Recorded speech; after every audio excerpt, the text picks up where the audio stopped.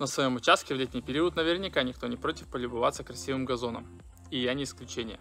Но, увы, не всегда ожидания и реальность совпадают. В этом видео я делюсь своим опытом посадки газона. Погнали! Для экспериментального посева газона я выделил около 100 квадратных метров площади и для ровного разделения натянул две нити.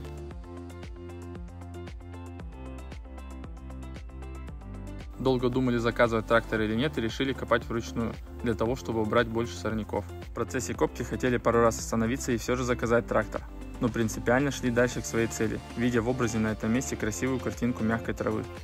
Далее нужно было как-то выровнять и сделать свежевыкопанный грунт более твердым. Видимые бугры разровнял граблями, затем придумал сделать из старой детали ЛДСП от шкафа разом и грейдер и каток. Любители кроссфита точно заценят такой подход. Я сделал в этот день полноценную тренировку, проработав большинство мышц, сажая газон.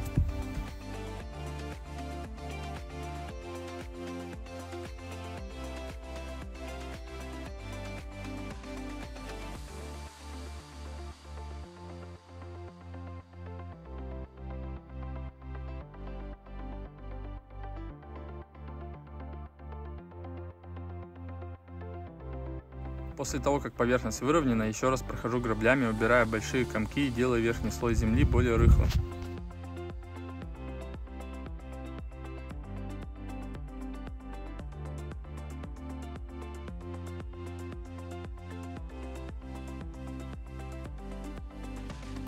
Самое сложное позади.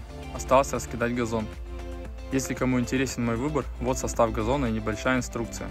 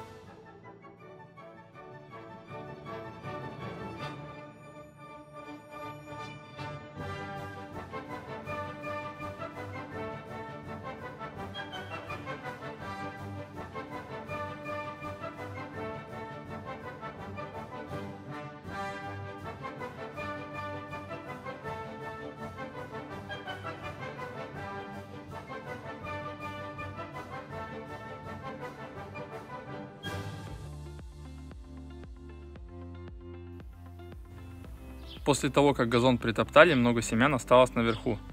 Они могли и так прорасти, но мы на всякий случай присыпали сверху слоем земли и песка на следующий день. И снова пролили водой. Старались проливать каждое утро и вечер. Уже на шестой день появились первые всходы, а через 12 дней выглядел газон вот так. Виднелись большие проплешины. Из-за глинистой земли в некоторых местах виднелись трещины в образовавшейся корке – а под коркой не могли прорасти семена. Поэтому мы пока не торопились подсаживать газон, и через месяц он выглядел уже вот так и требовал первой стрижки –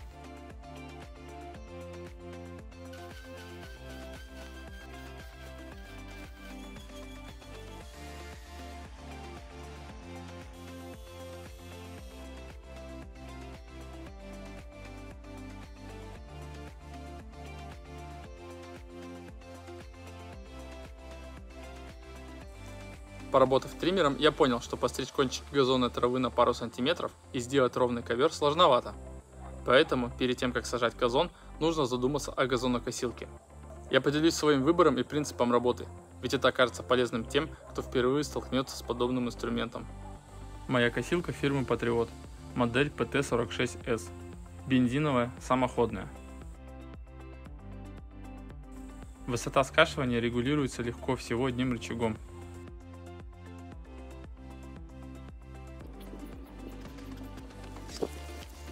Оранжевый рычаг – это включение и выключение зажигания.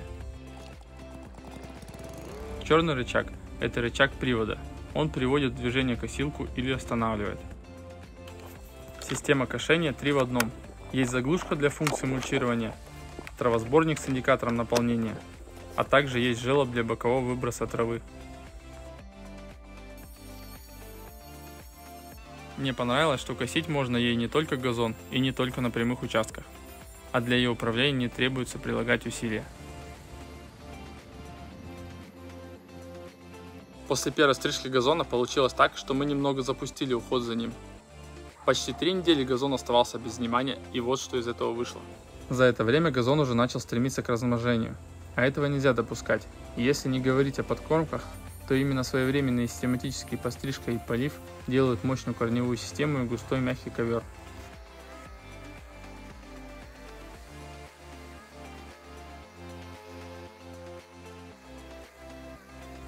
После того, как срезал высокую траву, сделал высоту скашивания меньше и собрал заодно ранее скошенную траву в травосборник.